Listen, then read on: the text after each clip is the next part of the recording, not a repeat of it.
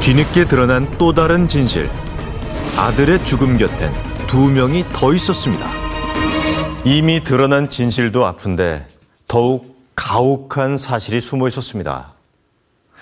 18. 어린 민규의 목숨을 앗아간 이는 과외 교사뿐만이 아니었는데요.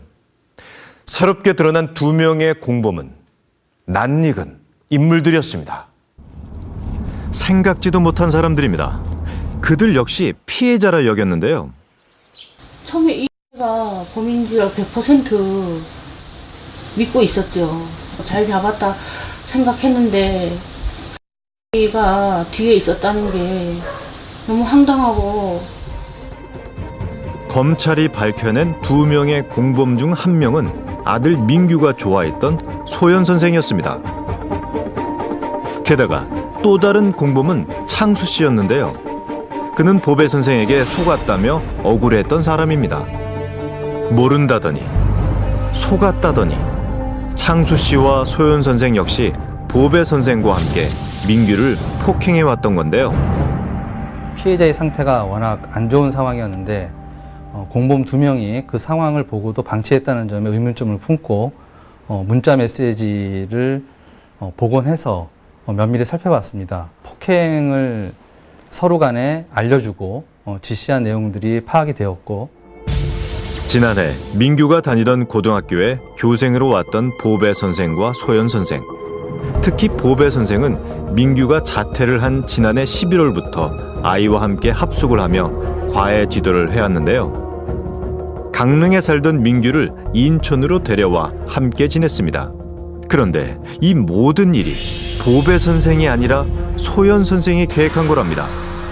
그러고 보니 민규의 부모님도 집히는 게 있다는데요. 내가 수양여행을 제주도로 갔었거든.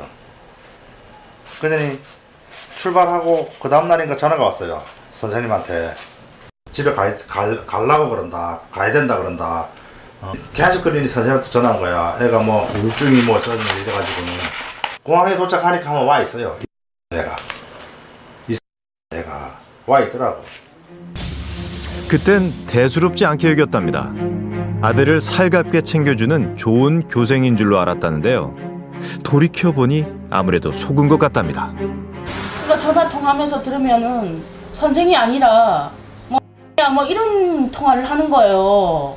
한 날 애가 옷을 사달래. 그 저번에 사지 않았냐니까 아니래 옷이 필요하대요. 밥 사준다고 돈 달라 그러고. 검찰이 밝혀낸 진실은 충격적입니다. 소연 선생과 민규는 실제로 사귀었던 사이라는데요. 18의 어린 학생과의 교제가 소문나는 게 두려웠던 소연 선생이 민규를 자퇴시킨 뒤 인천으로 데려와 자신의 친구인 보배 선생에게 맡긴 겁니다.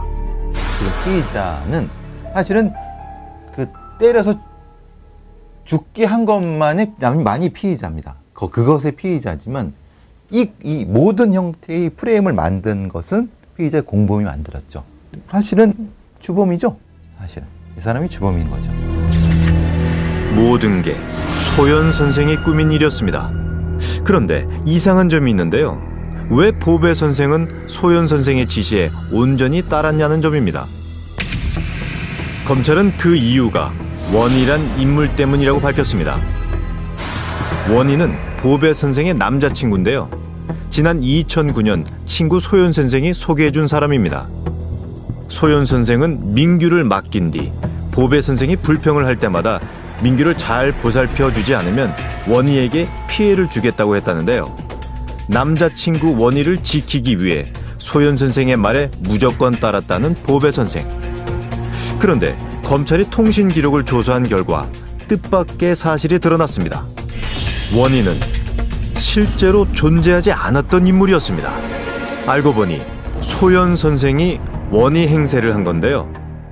교제를 하는 4년 동안 보배 선생이 남자친구를 단 한 번도 만나지 않아 속일 수 있었습니다. 가상의 남자친구를 소개시켜 주는 것도 실제로 보면 이 가상의 남자친구를 통해서 피해자의 피의자의 심리를 들여다볼 수 있는 도구로도 사용할 수 있는 거죠.